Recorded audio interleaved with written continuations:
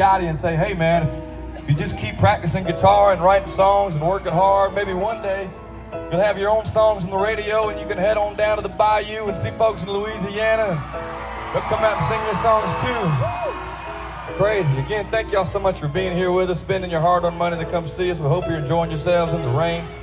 What a time. What a night. But y'all never in my wildest dreams, though, did I think one day I'd have a song on the radio that would be a, uh, a tribute to George Strait. All at the same time while being your classic country heartbreak song. Y'all have put a lot of singles out in the last 12 years. Never had more fun than I had with this song right here. And uh, because of y'all, when this song went number one, it made us, we have the longest active streak of number one songs on the Billboard charts out of anybody right now in country music, and that's all because of y'all. So thank you very much. I would love to hear y'all sing this song back to us if you don't mind. This song is called Damn Strait.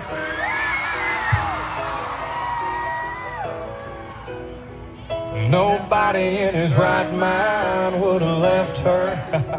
well, that was her favorite song. She sang along every time it came on. The first time we danced was to Marina Del Rey. Fell right there and then. I didn't want that song to end.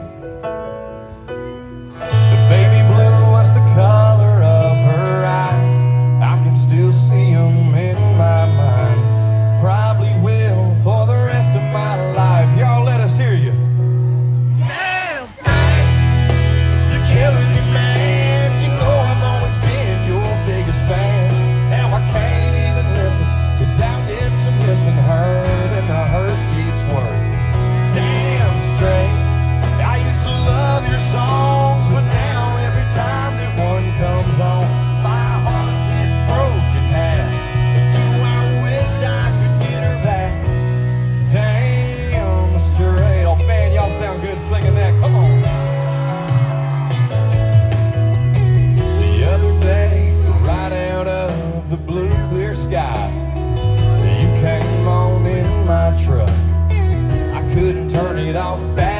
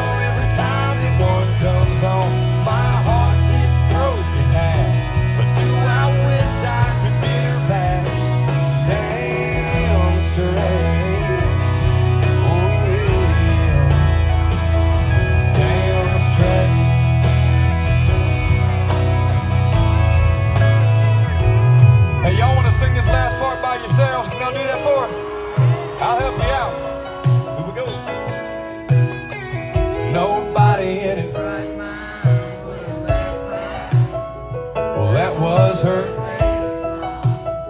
She sang along. Damn